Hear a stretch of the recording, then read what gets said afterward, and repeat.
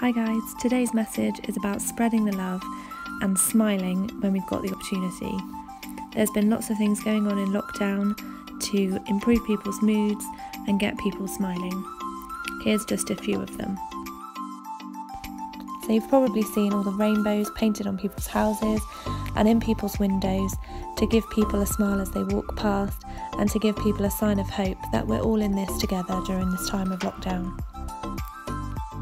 It's also become a sign of encouragement to all the NHS workers out there who are fighting really hard to beat this virus. I know personally for me and my little boy, it's been lovely walking around our village noticing all the rainbows. Smiling can completely transform our moods. Laura in New York has been taking photos of people smiling behind their masks.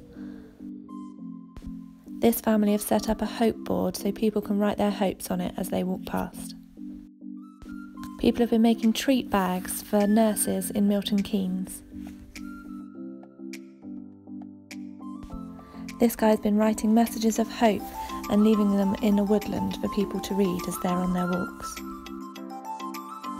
I'm sure you've heard of Captain Tom, who's raised millions for the NHS just by walking around his garden. These neighbours have rallied round to sing happy birthday to this 100 year old man. To make some of the kids smile in Cardiff, this guy's been dressing up as Disney characters and appearing at people's windows. So now it's up to you. Be the reason that somebody smiles today and let us know how it goes. God bless.